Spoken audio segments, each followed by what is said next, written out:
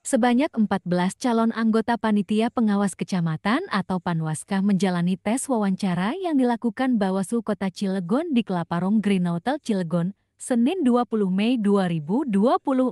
Ketua Bawaslu Kota Cilegon Alam Ari Asyari mengatakan, tes wawancara ini dilakukan untuk mengetahui seputar kepemiluan dari calon anggota Panwaskam dalam melakukan pengawasan saat Pilkada serentak 2024. Untuk kebutuhan anggota Panwascam di kota Cilegon, Alam menyatakan, secara keseluruhan untuk Pilkada serentak 2024 di kota Cilegon berjumlah 24 orang anggota Panwascam, dengan komposisi masing-masing kecamatan sebanyak tiga orang anggota. Pada kesempatan itu, dirinya juga menekankan bagi calon Panwascam yang lolos, agar benar-benar menjunjung tinggi netralitas dan dapat menjalankan amanah ini dengan sebaik-baiknya.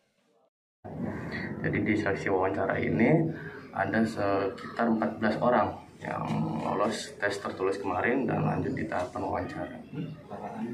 Sementara itu, salah satu calon Panwaskam, Muhammad Anis mengatakan, dirinya mengikuti pendaftaran Panwascam untuk menjadi penyelenggara yang baik seperti mengawasi proses Pilkada 2024.